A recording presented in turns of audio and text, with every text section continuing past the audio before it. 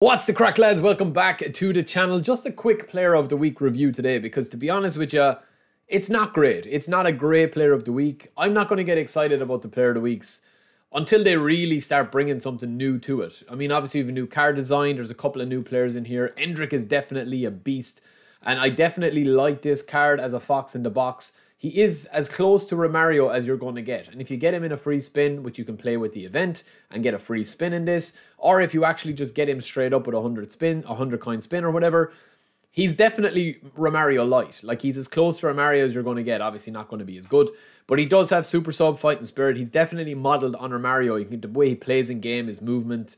And I think we're going to have a lot of Endrick cards over the years, but this guy definitely is probably the pick of him. Very nice stats. These three boys at the back, obviously a soft spot for Fred. He was a red before Fred the Red. Good aggression, good defensive engagement. All of these are going to get boosts with the manager of about plus three. So his aggression is not going to hit 90. His speed and acceleration are not going to hit 85.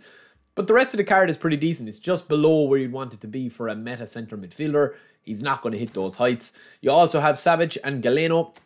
Um, again, just a bit of speed here as an attacking fullback, left back. He's had a couple of cards over the years, and on A form, he's pretty decent, but he doesn't have any defensive stats or skills. As an attacking fullback, you kind of need that now if you are going to be playing the likes of Carlos. You can still train him up. Trent, Philipp Lahm, they can all play uh, attacking or defensive. You know, obviously the defensive fullbacks like Thuram and them are going to be good, and Bergomi. Uh, Marcos Llorente, not his best card, but definitely not his worst. He's a really good player as well. He's down actually as a right back here. He pretty much can play anywhere from right back up to SS right midfield, centre, defensive, and attacking midfield. It's a very, very nice card. Probably one of the most underrated cards in the whole of eFootball. In eFootball 22, he was one of my favourite centre midfielders. He was absolutely insane. I don't like this card as much because if he's an attacking fullback, I'm just not going to play him there. He doesn't hit any thresholds that you'd want for him, so it's a bit of a disappointing one. And then, of course, we have Madueke and Kubo. Kubo, Madueke, and Barcola, all very similar players. Speed, pace, dribbling. Obviously, you've got Barcola here, the PSG youngster. He gets the booster. He's going to have agility plus three with his A form. First time shot, sole control, chop turn, double touch. He doesn't have flip flap, so he can't do ball roll or the advanced double touch. But it's a nice card. He's got some nice AI playing style as well. Um, yeah, one touch pass seems to be eluding them. I reckon what they're going to do at one touch pass for eFootball when they bring it out in a couple of weeks' time, I reckon one touch pass is going to be a big a skill, like a booster skill. It won't be with every player because they've they've slowly started to kind of eradicate it, and it's extremely rare. I think I've opened 250 skill trainers in the last six months and I haven't got one one touch pass. So that goes to show. Um, but it's a nice card, and it's the same can apply to Kubo here as well. I'm not going to make this video longer than it needs to be. Kubo here with 90 acceleration, his balance, his type possession is not going to reach the 90 threshold, but the acceleration, ball control and dribbling does with finishing at about 85. And fresh off his hat trick, it's another winger here with a booster, kicking power, balance, finishing, ball control, all pretty decent.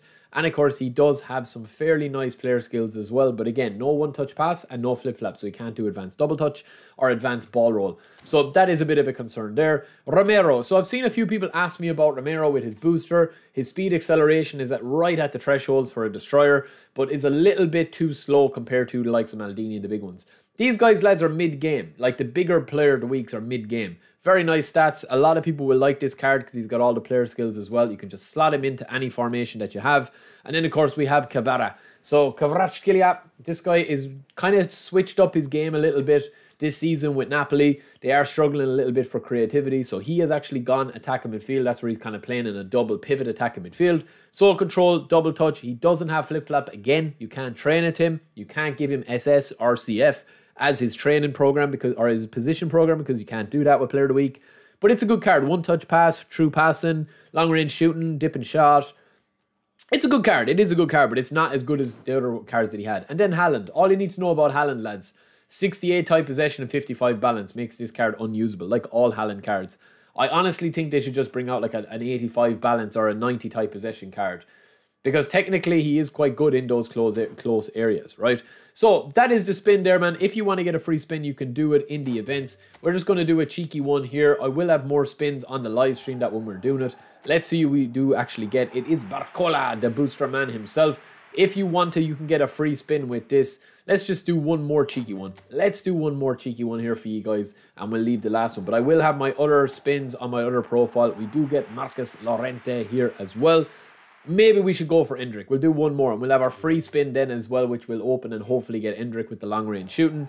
But that is the spins. That is everything. It's Fred the Red, the X-Red.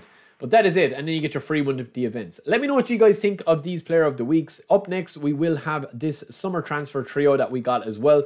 We actually got donations on our stream the other day. We had a mental stream on the Thursday, and we got all of these players. So I'm going to show you the best builds, how to train them, bit of gameplay, and talk you through them. Peace!